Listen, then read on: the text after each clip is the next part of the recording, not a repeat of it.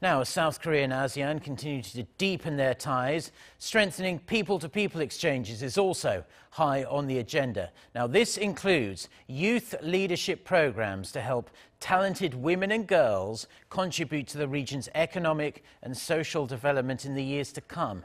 Oh Soo-young has this report. Sharing skills and culture, Young women from South Korea and Southeast Asia are helping each other grow as strong, competent females in their respective societies. As part of a university exchange, students from Seoul Sookmyung Women's University visited Laos and Indonesia this summer to help their local counterparts develop ICT and leadership skills.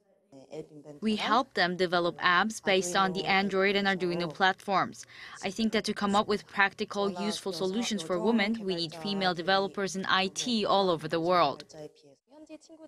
While preparing for a presentation together on solving social problems, we were able to brainstorm and narrow down ideas together.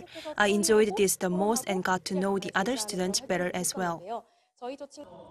Local students came up with ideas such as baby monitor apps for working women in rural areas. This is my first time to, to learn uh, exactly new skill about ICT. I love to see how technology can inventing to reduce the uh, problem. By transferring practical skills to raise digital literacy and encourage entrepreneurship, the program aims to help women find jobs and advance their economic status. Uh, since 2016, about 1,300 students took part in our local training. We aim to promote women's empowerment uh, and uh, capability building of female talent who will contribute uh, to the economic, social economic development of the nation in the age of a fourth industrial revolution. The program is also focused on female empowerment. The women need ICT training or leadership training to make the student more confident and to challenge every issue that uh, will face in the society. So we even though our body weak if compared to men, but spiritual must be strong.